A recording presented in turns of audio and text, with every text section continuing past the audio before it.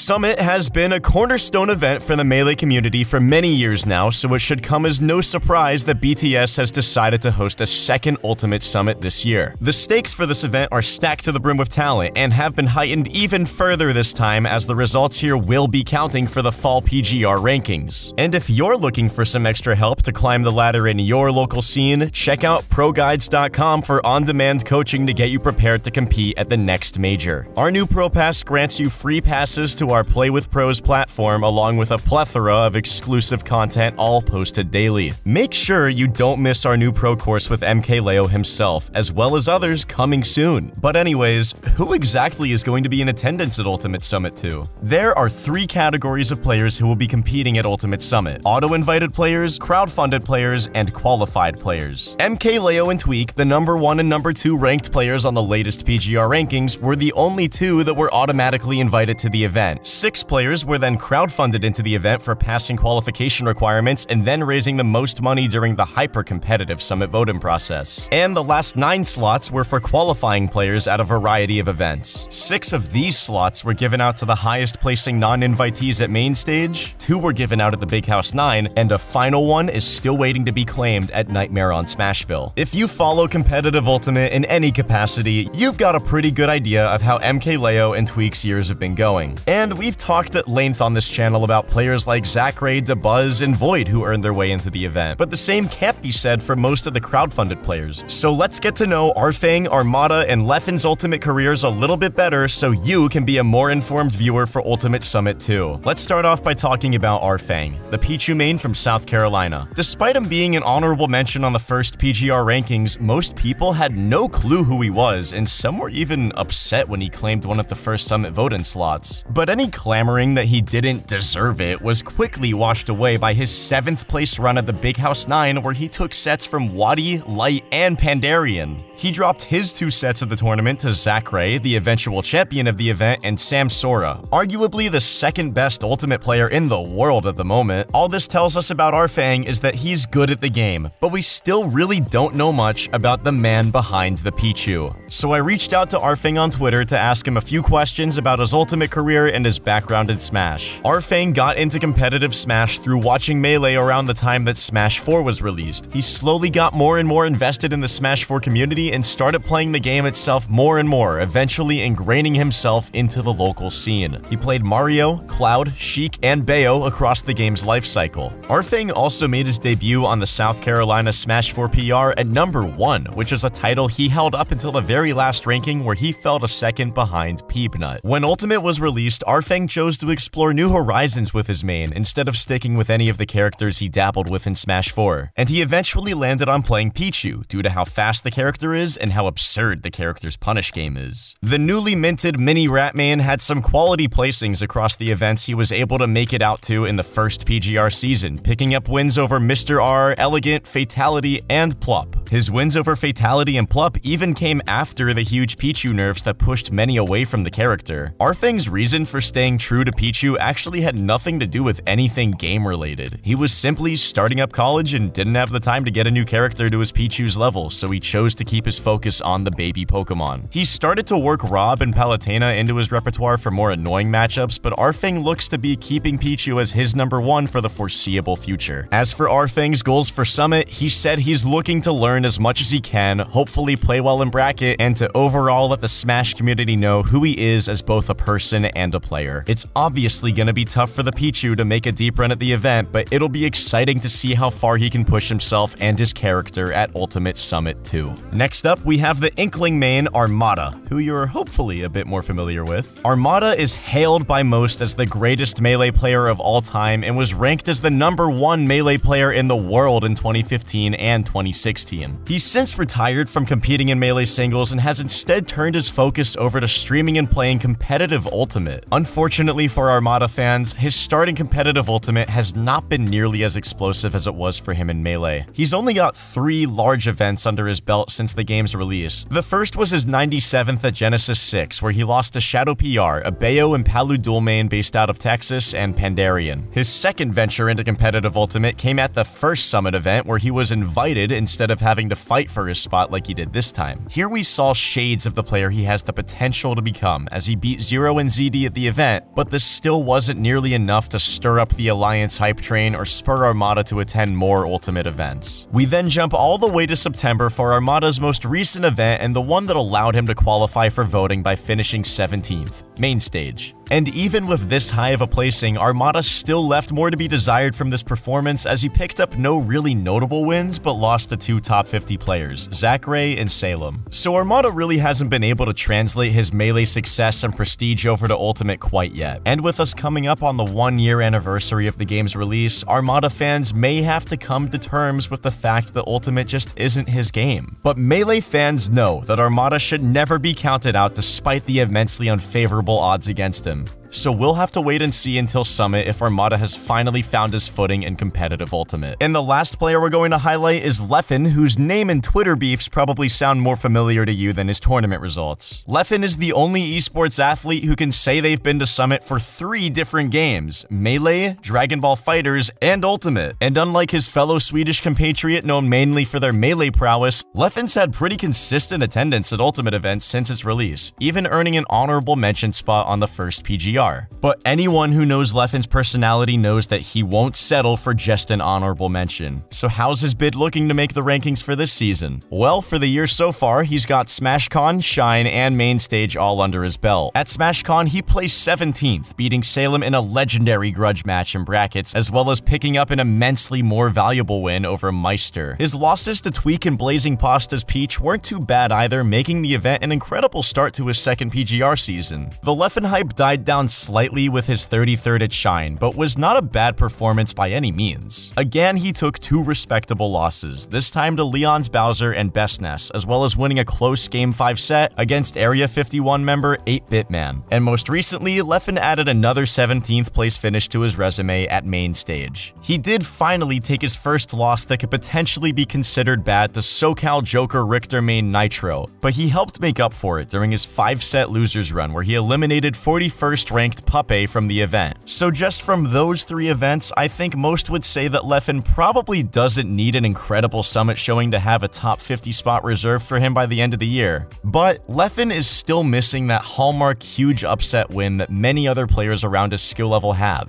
So here during Leffen's second Ultimate Summit appearance, we'll get to see if he has the ability to hang with the top 10 like he does in Melee, or if he still needs to do a bit more research in Ultimate. And that about does it for this video highlighting the resumes of the three least known Summit attendees. Let us know in the comments which of these three players you think is going to perform the best at Summit, as well as who you expect to claim that last slot at Nightmare on Smashville. Make sure to subscribe to Pro Guides and put those notifications on to make sure you don't miss out on any content on the competitive Ultimate scene in the future.